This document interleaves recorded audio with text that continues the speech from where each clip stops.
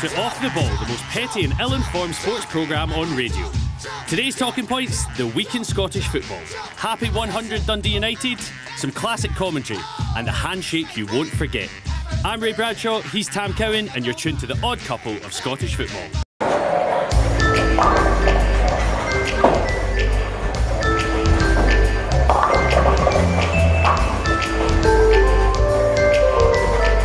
Days off the ball. Tam Cowan, just back from London. How are you? Uh, just back for London, highly recommended. Great for uh, people watching apart from anything else. Um, uh, Shane Richie, Chris Eubank, uh, Gary Lineker, and Kim Jong Un. So go to Madam I- Tussauds. you need to go to Madam Tussauds. Actually, it's the best Madam Tussauds in the world. And the Chamber of Horrors bit genuinely is scary. I was in Blackpool But- the week before, and their big new attraction at Madame Tussauds is Lewis Capaldi. All right, They've gone right, big right, on him. Right, but you know what? The uh, you know uh, the, the the great thing is about uh, having spent a week in London, I can now maybe in the run up to Christmas. I readily now go for a drink in George Street in Edinburgh, and nothing will seem expensive. What was the most you paid? It's great. It's such Oh, a Scottish conversation. it? it is, I know, but you get ridiculous things. It's when you try to break it up when you're there with the wife and the Wayne, and you maybe get, you know, uh, a pint, eh, and you think, oh, hang on a minute, though, that was uh, Menabrea. That's going to be deal right away. anyway, you get maybe that glass of rosé wine for my wife and a, a J2O for the Wayne. Yeah. And, you know, it's like 32 quid, you know, and you think, oh, wait. It's that holiday mentality in it. You just, uh, you've just got to the pride and shut your eyes, but it's a magnificent city. Uh, it really is. You were saying your Uh, legs are agony. the, my legs are agony, aye. Uh, but there we go. I'm surprised my wife even let me go to the place. but she was she was doing a lot of shopping. But no, my aye, you need to do, you need to be prepared to do plenty of walking. And even as you know, when you're on the underground, um, you know, you can sometimes have to walk for miles. You change a line, yeah, yeah, it's very you know, different, So, it? aye, it's exhausting, but it's it, oh, it's worth it. It's a magnificent place. Did you manage to catch much of the midweek football when you were down? And the no, I absolutely blanked it. And nearest they got to football uh, was a tour of the House of Commons uh, by the Edinburgh MP and big Jambo Ian Murray, uh, who's also written a book about the whole. Hearts revival uh, post Vladimir Romanov. So Okay. I knew Ian, I knew he was down there. I thought, you know, you just, I thought, Would you I just get- chance it the I his number, Yeah. I had his number, and uh, he says, "I no bother." Uh, didn't you Great. come? So that was that was a fascinating thing. So what I would say though, I mean, it is me, you, the listeners. It's our money that pays for places like Parliament. It Yeah. pays the MPs, uh, you know, salary and expenses and all the rest of it. So my top tip would be if you're down in London, look up who is effectively your MP in Parliament Yeah. or the nearest you can get, and just ask them for a tour. And was he quite happy to do it? And just Yeah, he was delighted. He, he took a great, uh, some fascinating things, including showing us the cupboard, and it was a cupboard that, that, that um, Boris Johnson used to hide in. that- no, that Emily Davison had in, so that when it came to the census, she could claim that her uh, place of residence was the House of Parliament. Great. And this was just a matter of a few months before she threw herself in front of the King's horse, you know? It was great. That's- that's Security out of this world. Did he mention his thoughts on Steven Naismith? Because that is Uh, a big topic of conversation with We didn't even just now. mention that. But again, the other good thing about getting in, to go back to my original point about the price of drink, Oh, I saw this. we get into the Strangers Bar, and uh, dearie, dearie. Quite heavily subsidised. Oh, it was unbelievable. Honestly, it was. You know, you're, you're in a city where there is one uh, bar that a taxi driver told us it charges for ice. Right, welcome to London. So you compare that to the Strangers Bar in the House of Commons when Yeah. you were seeing like bottles of wine for less than twenty quid and a pint for four quid. You know, and it was incredible. It's- Is it any wonder they drink as much? Yeah. It really is. it was your second home as well. Some life? Absolutely. Some life. Absolutely. But anyway, it was absolutely magnificent. I would uh, encourage you a wee trip to London. Some parts that you've got to shut your eyes and just pay the bill. Other parts, of course, you know, if you've got kids, their face will light up at the very thought of a picture next to Trafalgar Square, Yeah, Buckingham yeah, yeah. Palace, all the Yeah. classic cliche Yeah, my wee, stuff. my wee boy's only three or four, and he recognised. Um, I should know he is four. Why did I debate on his age? Um, he eyes lit up at Big Ben because he'd seen it on Peppa Pig. So Yeah. it's things like that. So yeah, it goes. Well, my way. wife was very disappointed to discover Big Ben was a clock. so, but after, after we get over that initial disappointment, it was fine. The, the week lit up. Because I know you're quite a stickler for this. You record stuff, you'll come home. Did you catch any of the highlights from midweek or anything like that? Because Yeah, the yeah, I Scottish teams in Europe was excellent this week. I, I must pay tribute. I did actually see it when I was away because I thought, right, where can you just get a, you know, a, a, a, a kind of happy wee five minute highlights package of these games? And uh, one of my pals, Colin, hello to Colin if he's tuned in, uh, said that for midnight you just Google like TNT. yeah, they stick it on YouTube. Aberdeen v. Yeah, they're really good for that. And you get your fa- that's all you need Yeah, to see. yeah. So in fact, I can summarise. I'll tell you what I thought of the games. You tell me what Okay. you thought. The uh, Rangers. Well, I've got to say first up for Scott Mullen. My colleague um, in here and a big Motherwell fan, Scott. I read his report on the Sparta Rangers game, Yep. and in that report, and this is a sort of mince that you lo- love. oh, you- I, I know what you're going to say. you know what I'm going to say? Yeah, yeah, I do. But yeah, Scott yeah. said that Rangers had an XG Yeah. of 0.02. He just casually threw that into his match report on the BBC Sports Scotland website. And I and I thought, nah, I, I'm, I'm out of here. I'm finished because it was bad enough with the high press and playing the ball into channels and When you- who's when- playing in the hole. When you stand in a low block. how do you feel about Exactly, but the X, I said to Scott, I says, what, what did, and I wasn't as polite. I said, what does that mean? And he said, it just means they were rotten and barely had a chance. Yeah, yeah, Right, yeah. So an XG, is your expected goals. So expected is goals. All come from a lot of young people now playing FIFA or EA, whatever it is, EAFC as it is now. And it's a big thing on Twitter and people talk about the expected goals and stuff like that. I saw that in that report and I was like, oh, because I think it was 0.02, which shows It's how just modern. Honestly, see if I'd been able to see Scott slip into my tackety boots, I wouldn't have liked to have seen the heat map of his home odds. Well, this is something you should let us know. What kind of modern Oh. football terms do you hate? Like a gig press, like all those kind of things. The low block and the high block and the medium block Oh, is something that does my nut in. Aye, but they're all cat now. I'm, I'm, I'm well aware of those, but that that's that, I, I had no idea about that. Once it was explained, yeah, I thought, yeah, I've seen that graphic at the end of some of the games, but uh, it's just a load of rubbish in it. But anyway, what you'd need to say is for Philippe Clement uh, coming in, not soon as his choice, we'll come No. to that in a minute.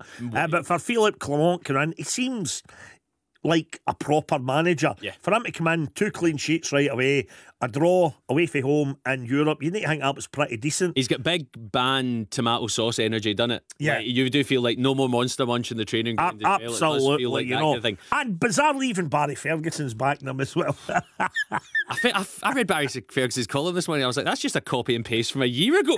I just taking out. Michael Beale and Clement. I um I watched uh, the Rangers go. It's, this I'm going to say something that uh, I don't think I've said often when I've watched Rangers over the years. Uh, I thought Scott Wright made them a lot better when he came on. Scott, right, Scott Wright right, and Danilo right. both came on at the same time, and um, they seemed to go well. I think in Abdallah Sima they've got an incredible player, and he was playing wing back up there, and I think he's kind of been glossed over because like Lammers and Dessers have all been so bad, um, but the. Um, I thought he was so good. I saw another terminology you might Right, what was uh, um, oh, what was it? Um, so Paulo Bernardo, who came on uh, for the injured Reo Hatate for Celtic, he had what was it? Lane blocks, forty six lane blocks. And that is when a defender's trying to pass it out wide or through the channels and he's blocking that pass off. So he had 46 or 47. Next highest was Matt O'Riley. and, See, uh, where I'm worried, does that not sound suspiciously as if it's nudging towards American football? Yeah, potentially. Yeah, yeah. That's, like, ah, well. you're going to get specialists and stuff let like that be the end of it. Because I thought What about the Celtic game? Tell Oh, me, you saw the exciting. whole game. Really yeah. exciting. Some great goals from both teams. Um, Celtic kind of ran out a little bit of steam. There was lots of chat after the game about how Celtic could have done with a stronger bench and how they The opening goal was an absolute perler, wasn't it? Even so was Palmas as well, and then Morata's second, the second equaliser, a diving header that loops over the keeper into the top. It was a great game, but Celtic going toe to toe with Atletico Madrid. It shows how well they played that they're disappointed coming away with I a mean, I draw. only, well, I only saw the highlights, but again, it shades of that with Real Madrid where they really yeah, that first fifty minutes, sixty Oh, minutes, came yeah, roaring yeah. at the traps. Yeah. But then maybe, it maybe you know, understandably ran out a bit of steam. But yeah, it looked uh, decent. I think again. the worst one this week though, and I watched Aberdeen, it. oh. Aberdeen. I felt I've got lots of Aberdeen uh, fans that I play football with. I messaged them. I was like, I genuinely feel sorry for you because the fact they didn't get that VAR decision on Jack McKenzie and then to go on and concede two really poor goals and then a quite a poor VAR penalty, it just I felt for him so badly. And a lot of it, Barry Robson, I think, will be taking a bit of flack for substitutions. Yeah. Connor Barron was running the game and he got taken off Miovski for Duk, um, a triple sub, and yeah, they just seem to follow the game. But to be 2 0 up in Europe, Well, you know 18 what? minutes to go, Tam. You do that think that's inexcusable, but in the five and a half minutes of highlights that I saw, uh, PAOK, they, they, they, they did look tasty. Yeah, they're they, good didn't they? yeah. Brilliant passing, Put- uh, great movement for the players. But when you're 2 0 up, and okay, uh, they kind of sealed the, the, the, the, the two goal lead, that, that for me was a penalty every day of the week. Yes. But as you were saying, they Initially, I thought it was a dive. And quickly yeah. got on it and moved it into the next phase of play. there's- And then they couldn't refer to VAR. I mean, it was a stone wall. There's no doubt about that. More and more and more, it's becoming a shambles. Aye. The VAR decisions and things like that. We spoke about it, whether it's the Scott McTominay goal, whether it's um, that for Aberdeen this week. At 2 1 up, you think you score that penalty, it's game over. And you know what? There was always inconsistent. I, I, a man sitting here uh, who always uh, kind of supports our referees, who I think they've got an absolutely thankless task.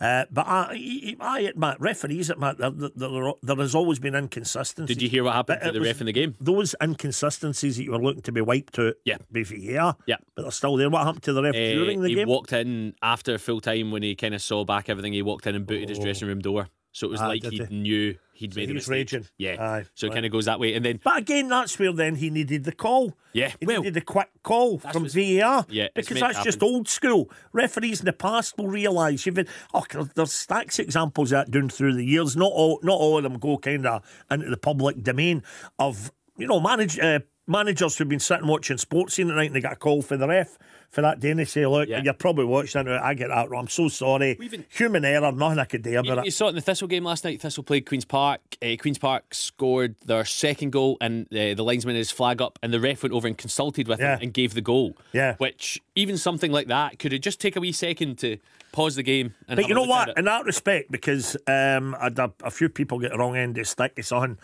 I'd stated last week the the controversial one with uh, involving the Hearts Celtic game. When uh, you know when uh, they got the Hearts get the pe- uh, Oh yes, Celtic yes, yes, the yeah, yeah, penalty, yeah, right? yeah. The Kyogo in the box, yeah. Kyogo. You didn't need to say who it was. Come on, Ray. uh, but anyway, when that happened, what I'm, what I was trying to say to people is, yeah, in 2023. Like it or lump it, you're going to get a penalty for that, right? But my point was, and uh, previously my point about that uh, was saying, how, how how did Celtic unearth? How on earth did they win a quadruple treble if the refs have all got it in, them, right? Easy to trip them up some way along the way, right? But the same token, if the refs are anti-Celtic, as we keep hearing for folk who believe that, Tosh, then that example last week, that was an easy one to wave away. It's just So why would you go to bother to giving that when it looks so, you know, 50-50 when it's... we all know in football referees are the easiest to blame. and course. A lot of time it comes that way. And then the other game last night, there's three games last night, so Thistle and Queen's Park two each moved uh, to Friday night. Um, another one we can only buy tickets online, which does my head in. Oh, I know. Um, and um, but that was moved because the Scotland women's team are obviously playing the Netherlands on uh, Tuesday at Hampden, so that had to be moved to the Friday night because there's got to be a four day gap, I think, for UEFA. So and also Scotland women's team last night losing four 0 to the Netherlands. Lisa Evans getting her hundredth cap. Um, and then the third game last night, obviously, Dundee United continues the roller coaster, which takes us on to our second talk. We're wishing uh, Dundee United. I, I thought that was quite smart. I know our both weren't too happy. They've got part-time players that have been doing a shift. They, maybe in the they put out a really good statement about it, I thought, and it was just kind of like, listen, this is happens. We understand it's TV for there's a benefit, but there's no benefit for us in this game. Yeah. It still took 600 fans in a Friday I know, night. and there's something. Come on, you've got to even. I would, I would challenge Dick Campbell with this if he was sat next to us. Uh, the, the, the actual hundredth birthday of Dundee United was last night, Yeah. and he thought, let's have it on our actual 100th If, I, birthday. if I'm Dick Come Campbell, on. I argue against that the whole time because it's better for his team to play on the Saturday. I know, but how many times you going to pals? You know, birthday drinks or parties, and it's like, oh no, it was actually last Tuesday, but we're having it the night. You know, they wanted to do a birthday party properly, have it in the night of the birthday. I thought the retro strip was excellent. Yeah, it was I would nice, yeah, yeah. love. I mean, I don't know what plans Dundee United have for them, but um, any big kind of charity events that are happening in Dundee, uh, and particularly Dundee United related, are the next. Well, if if somebody can get those donated, they they will raise a fortune. Yeah, and they're going to need to raise money for to play the strike force they've got because But how sad did one way? Can I just say as well, and I, I believe this is a I'll always have a soft spot for Dundee United. And I know one of our guests, Billy Kirkwood, synonymous with the Yep. club, who'll be joining us. He was there last night. How sad in some respects, though, that they celebrated their 100th birthday as a lower league The club. championship, yeah, yeah, When you yeah, think yeah. everything that's happened to that club, when you think everything that happened for Jerry Kerr onwards, Jim McLean, you know, European final, Yep. you know, it, it's just, it's really, really sad. But It's not. It's not a bad way to celebrate though. Back to back, a five 0 then a six 0 win Aye, against teams that are in the top half of the table in the So let me ask you this, because as well as your thoughts the week in football, uh, Rangers, Celtic, Aberdeen, and Europe, give us your thoughts as well. I'm going to ask you about this first uh, before we leave the domestic stuff. Yeah. All the hoo ha about um, the uh, fixtures at the festive period. Uh, Celtic uh, away from home again. Seven years in a row. And uh, the Motherwell Rangers game been moved to Christmas Eve. Yeah. 12 noon kickoff. Uh, I think, quite frankly, at the clubs need to get over themselves. I think they're being hugely disingenuous because the bottom line is they can come out and they can squeal all they want, but all the clubs entered into this.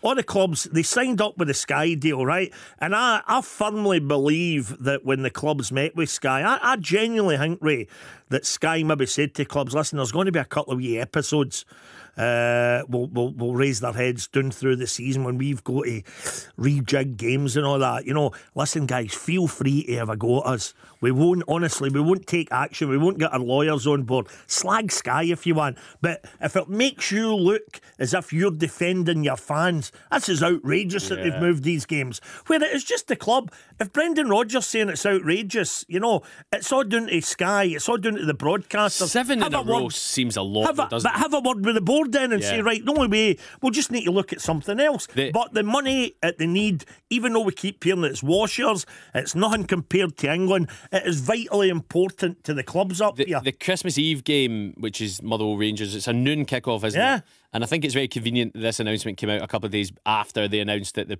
uh, English Premiership were going to be playing Christmas Eve games for the first Yeah, time. So they're trying yeah. to tie in with that deal. But I think also, for me personally, as someone who works on Saturdays a lot, if I was a fan, a Sunday game is better for me. Yeah. I'd be biased that way. But it totally depends for.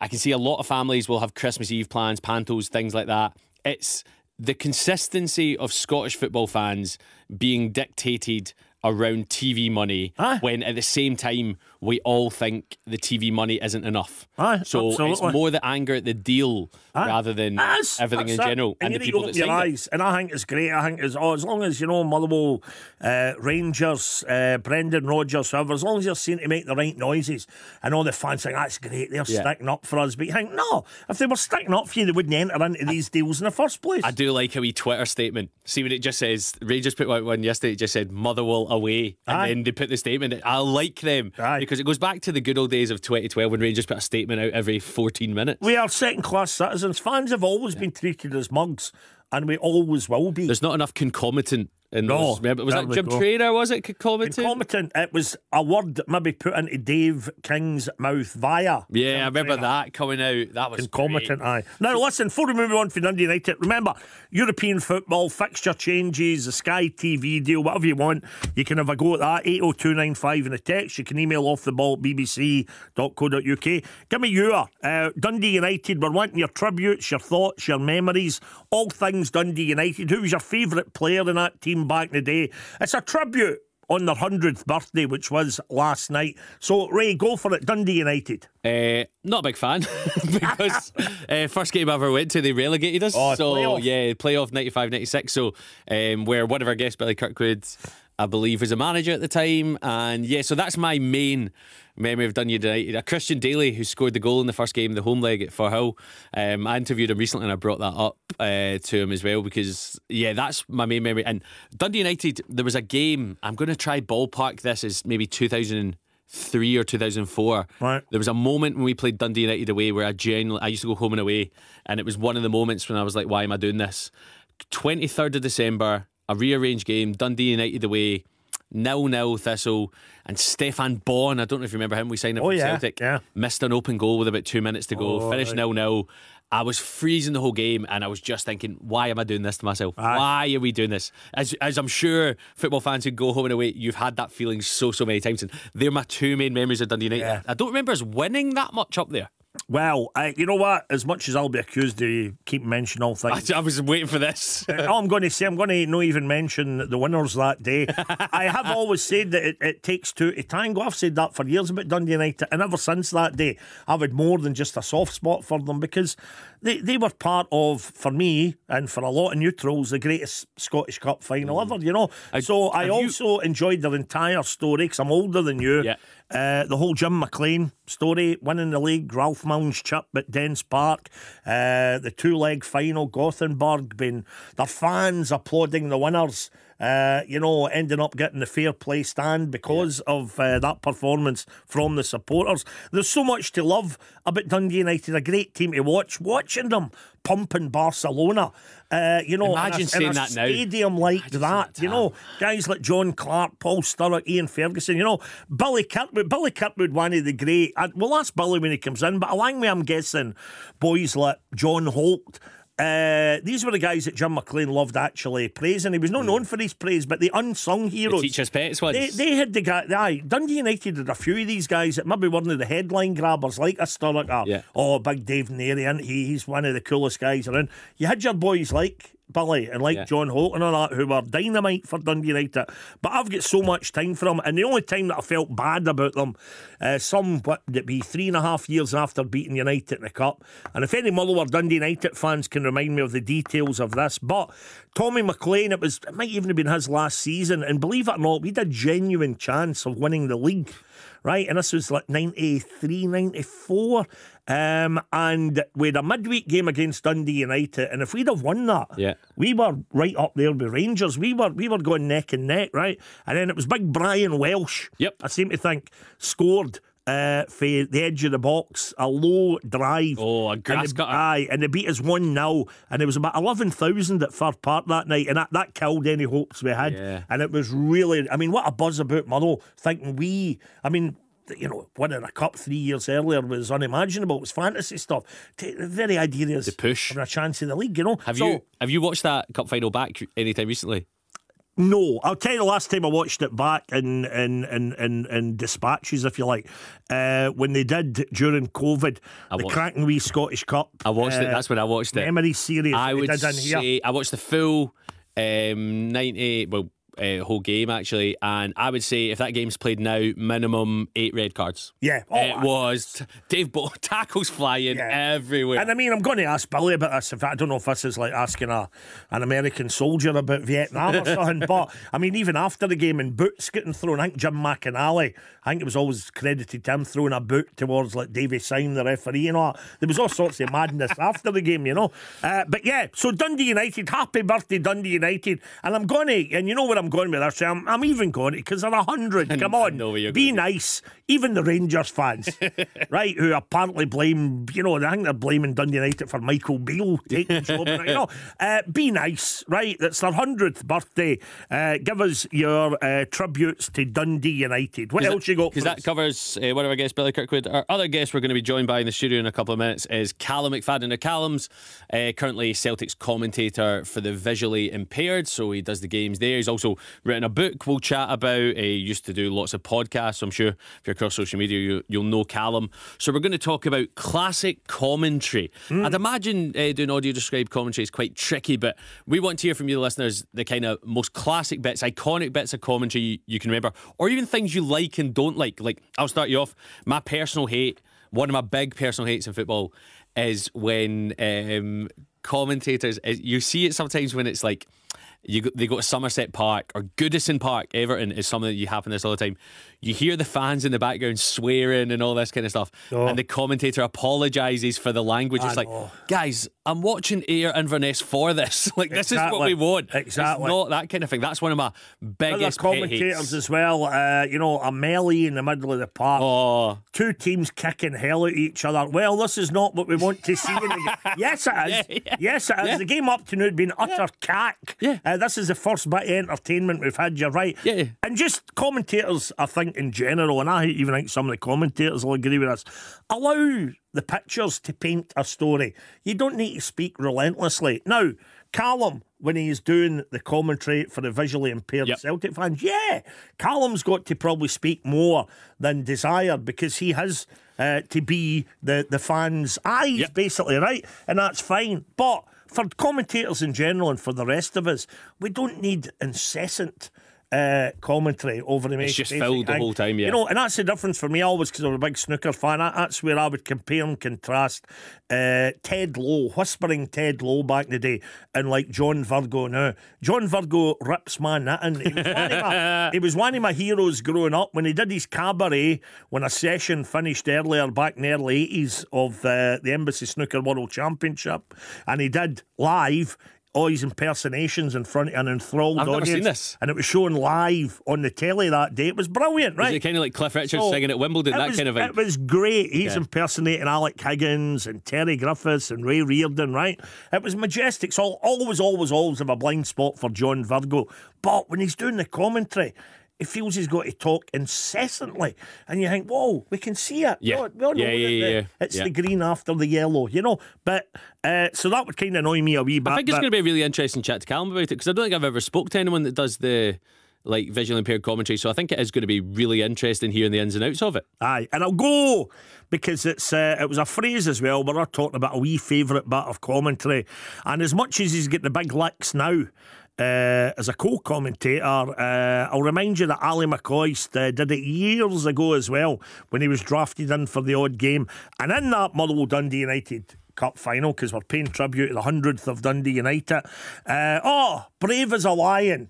That's how we described Phil O'Donnell, the late great Phil he O'Donnell. commentating in that game? Uh, Ally was uh, riding shotgun uh, Wow. to uh, Jock Brown.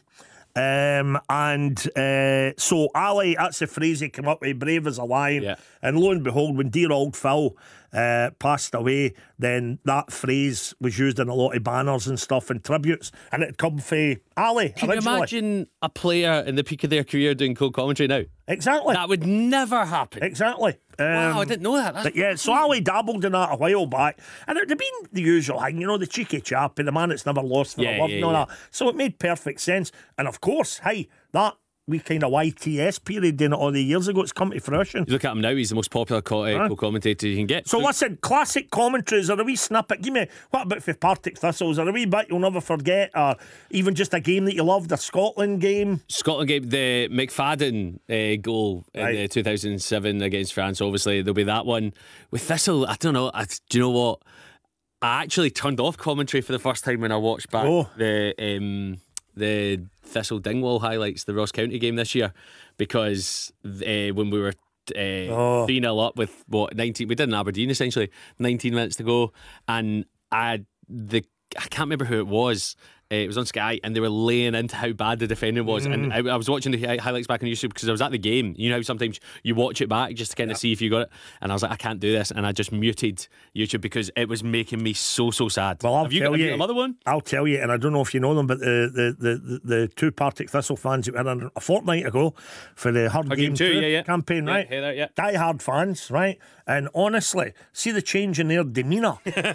Honestly, said the D word. Desmond Morris would have had a field day just watching their body language. When we asked them, I just casually said, and I meant it for the heart, I said, I know the, the details for me as a Motherwell fan are sketchy that day. How did it all pan out again? What happened? to it? And see when they started talking about Yeah. it, sweat was, I was running off them. I was at uh, my wee boy's nursery Halloween party, and one of his friends' big brother had a thistle top on. He was just coming in before going to watch a game, and he had Lawless on the back. So nine, ten year old kid.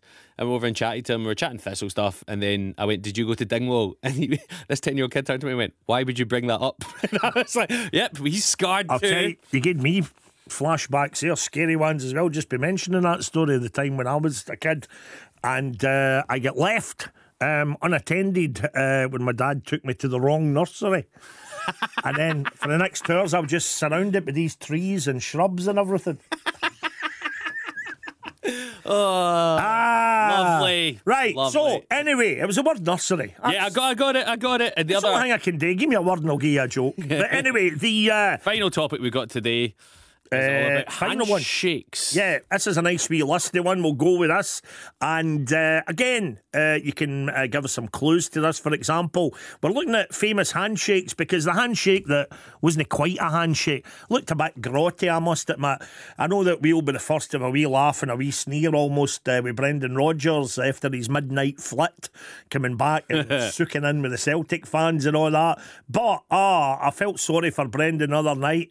Um, you know, he went to do the dutiful thing, the normal gentlemanly thing, give Yeah. the boy the handshake, and he kind of was, he, ah, he was kind of almost as good as waved aside. By Simeone. Uh, you know, and I thought, oh, you get, that was rotten. You know, he'd have been well within his rights to to to to, to fly a punch at him or something, but. Yeah, I hate when you see players strop off at the end of the game and not do the handshakes as well. Because I, I know. Well, the thing is, the, well, no, the players don't do handshakes now anyway. oh, Did you see when they're bumps. going down the line at the start of a game? It's all that Yeah. as if they're going to arm wrestle with them. yeah, the claps. Aye, what's, what's wrong with a good firm handshake? As Jim Bowen says on every repeated episode of Bullseye a minute, hey, nice firm handshake. Good, on-" you know, that's that. There was something good about that, you know. Um, but you never see the handshakes. But we're talking about the memorable ones. Now, these could be from history. We both leapt in up at the canteen. We were talking about it was deemed as maybe the end of the Cold War, Gorbachev and Reagan. Yep. When they shook hands back in 84, 85, must Yeah, I have been around about then. yeah. Uh, that was seen as a very significant handshake. You, of course, you then had the handshake that then became a bit of a squeeze and a firmer and firmer grip. and, uh, and then, of course, it was Messrs McCoist Yeah. and Lennon when they had their uh, spa Magic on Big the Guerra side. that jumps in as well. It all becomes a big belly. Three Oh, it players did. would set off at it. Yeah, remember that? Oh, it really, really did. And uh, any other ones we were talking about now? We're trying to find ones from films. There was one that we had in our head that we couldn't remember. So we want kind of iconic handshakes from films or even awkward ones you can think of. We were talking as well, Patrice Evra, I remember him and Luis Suarez not shaking hands and stuff like that. And that became a big uh, furore after that with all the. And before racism. every Celtic fan sends us the photo, uh, maybe one of the most viewed photos ever of John Greig shaking hands with Tiny Wharton. And what is the, the, the, the most Masonic looking handshake in the history of Masonic handshakes? We've all seen that one, right? Yeah. But if you've got any others, it's a one word topic handshakes. Uh, get them in. Maybe you've got some tales to tell. Also, if you still do them, if you still Aye. do them, because I was saying to Tam a lot of the time now, even like I still play amateur football and stuff like that, it's fist bumps. It's fist bumps after the game, and people don't really like because COVID stopped handshakes for a bit. So were you disgusted when I saw you this morning? I Hadn't seen you for a few weeks, and I shook your hand in the old-fashioned way. Yeah, no, I wasn't disgusted. I was just at the toilet, so I was more worried for you, Right. if anything. But Right, no, okay. not too much. But no, I think I don't mind between the two, and I noticed in comedy as well. Usually, Ah! when the compare came off, you'd all shake hands. Now it's fist From comedy, there we go. That's other handshakes we'll take if anybody Oh. suggested this. Uh, only fools and horses. oh, that's not the one I was Uh. Jolly Boys outing. They stop at the halfway house. Del Boy is in the toilet with Mike for the Nag's Head, and Del Boy meets a mate who's since gone down to Margate. He's opened a club and he's got tickets, and the boy finishes his pee, shake hands with Del, and Del, you know, he's disgusted right away, and the boy does it twice. So that would have been a handshake from the world of television. I television. thought you, uh, Banzai was one we were talking about as well. Now, was it Mr. Shake Hands, Mr. Shaky Hands, Mr. Shake, whatever the wee guy was called? Remember seeing it, but I couldn't place it. We're hearing it's Mr. Shake Hands Man, and he would turn up at kind of red carpet events and he would shake hands. I think that was meant to be the deal. Uh, I think, and he would shake hands with a famous person, and he'd basically put the stopwatch on it to see how long he could get away with it. You know, It's so good, so But petty, so silly. handshakes is a great topic. Uh, classic commentary. We're going to be joined by Callum McFadden. Um, he does commentary at Celtic games for visually impaired fans. Give us your thoughts on that for a start. Fascinating chat we can have with Callum about all of that. Uh, what do you love? What do you hate about football commentary? Happy 100th Dundee United. Uh, and maybe even, here's one, right. If the Rangers fans weren't going to wish Dundee United a happy birthday, at least in a sly manner, suggest what would be an appropriate birthday gift. Yes, that's good. Yes, an yeah, appropriate yeah. birthday gift for Dundee United. And the week in football, all the European stuff, fixtures getting changed over the Christmas period, da da da da. And our uh, team team of the week, very briefly. Nice and simple, based on what happens tonight. Is the we're looking for the clock eleven. We basically all get an extra Hour. hour's sleep Yeah. tonight, or Yeah. two if you watch the Mamma Mia competition thing that was on last week. Did you see that? No, I, I someone was asking me if I was going to watch it. I was like, no. Well, take it from me. I have seen Mamma Mia, the stage show, seven times. Wow. Uh, between America and Scotland. I'm a huge fan, and I was disgusted by that Really? program last week. I couldn't. I, So- ah, So if- the the clock eleven. We're looking. Some of the ones. Do you have got? any ones? We've got uh, some terrible ones so far. Uh, Big Ben Doak. Big Ben Doak. A player's famously quite small. Uh, Jurgen Klopp Jurgen Klopp. and that's easy one. uh, Philip Cocu. So, as in Philip uh, I think also the ones that I've come up with, when you have to explain who the players are afterwards, it doesn't make it as good. So, anything to do with clocks, Clocks. time, And- grandfather. No, no, uh, no, no, no, no, nothing to do with time. It's clocks. But time, you can do the hands on the things as the well. hands, okay, but no time. Somebody kind of just, you know, come in with something else. But the, uh, yeah, clocks and clocks rather than watches. Yes. Clocks. Yes. 80295 in a text. You can email off the ball at bbc.co.uk. Anything else that takes your fancy. Um, and it's uh, Ray sitting in uh, today for Stuart, who's on his Cassius X. Uh, Tour? kind of Big tour? Nice. And he's doing the, the tour and, of course, the documentary film Great. that's been made. So you're tuned to Off the Ball on BBC Radio Scotland. Today's topics, like Tam said, the week in Scottish football, a happy 100 to Dundee United, classic commentary, and the handshake you won't forget. Our team of the week is the Clock 11. If you want to get in touch, you can text us on 80295, email off the ball at bbc.co.uk. It's time to welcome in our guests, so please welcome Billy Kirkwood and Callum McFadden.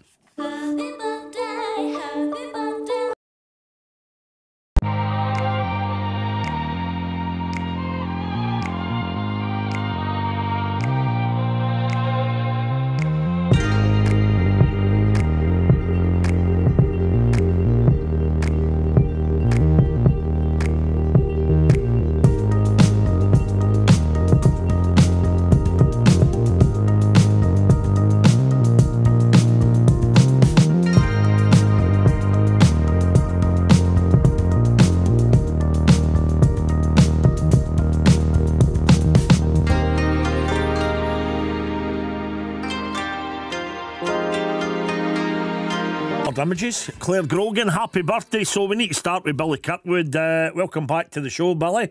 Years ago, uh, Billy uh, was on, even had a microphone at work back in the day. Yeah, I was thinking, I don't know if that was me or not. Fine now, we're fine now. Billy, you were at the birthday party last night. What was it like? Excellent. I've got to say it was uh, a very good game. Weather was atrocious, and I think Dundee United they got just under nine thousand, which was fantastic Brilliant. for Yeah. a Friday night. Six hundred Arbroath fans. Credit to them as And well. And what a way to celebrate and have a party. Six oh, goals. fanta- well, you know. it was five the previous week. Sorry, Ray, Aye, cheers for bringing that up already, but literally 40 seconds in, all right.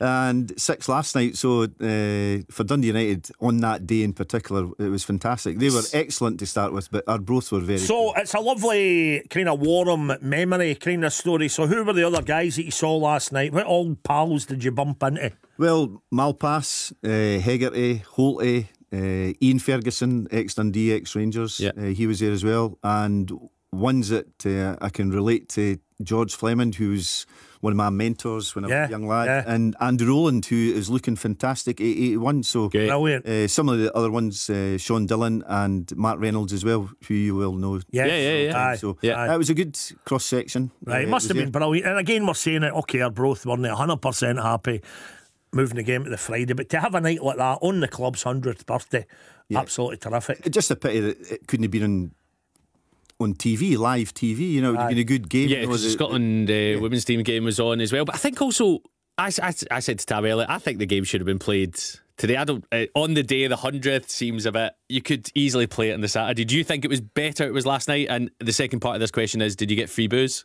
Uh, no free booze. I was driving. Ah. Uh, no free booze. I, I agree with you, but I, I think just the, the fact it's on the day, I think it was a good celebration. And Tam, Tam touched on a lovely point there um, before about how Dundee United, it's a shame in their 100th season, uh, they're in the Championship. But when I was watching them last week, see to have a team with a strike force of Tony Watt, Louis Moult, you've got Glenn Middleton in there.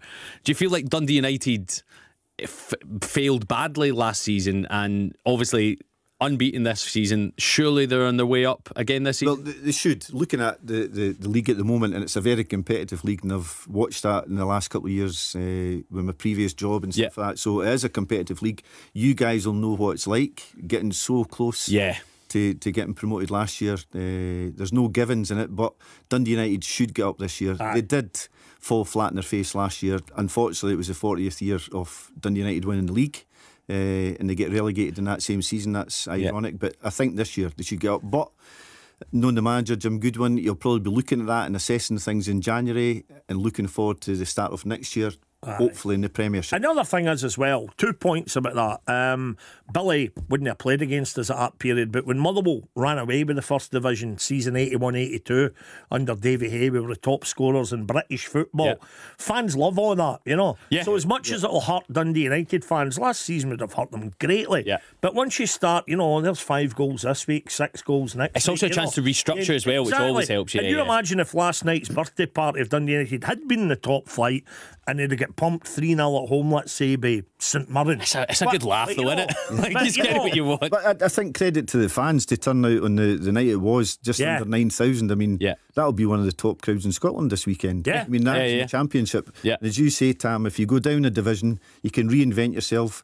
Punters want to see entertaining games, they want to see goals. That's But what also, it's the, the signings you made, guys, you signed two players from us. Ross Docherty, who became captain straight away, Yeah, uh. Kevin Holt. Um, great kind of guys who for the spine of the team, and it lets you kind of build back up. Do you think they're relying on youth as much? Because that was something that happened the last few years, Dundee United bringing a lot of young players through. Is, is that happening as much this year? Yeah, well, they've got a few coming in. Fotheringham played last night and scored a good goal at the back post. And uh, Could you as well? He came on Yeah. and scored a great goal, individual, fantastic. That was the last one. Yeah. Uh, Mochrie is there. Says a lot of how many goals Dundee United scored last night when he went. I think it was the last one. like it just shows how Aye. easy a game it was. And we can't have somebody like Billy Kirkwood sitting there without saying you're, you're duty bound to say this. And Billy, you've still got three years left in the deal that you signed for Jim McLean. Yeah. yeah, yeah, right. I think it was an S form when the, the club We need, we need originated. to mention that, or else we get kicked out the studio. Uh, Billy, just before we move on to Carla Callum Fascinating story. Can't wait to hear what Callum's telling us about the commentary for the visually impaired supporters. Um, looking back to that period at Dundee United, I mean, you've been a man of quite a few clubs. You've been maybe synonymous. Uh, latterly, been a, a number two, a hell of a lot of clubs. But when you were playing with Dundee United, what for you was the ultimate? What was what was the moment that you'll never forget? Oh, winning the league. I was Aye. about to say, and it, uh, again, there's not just one moment.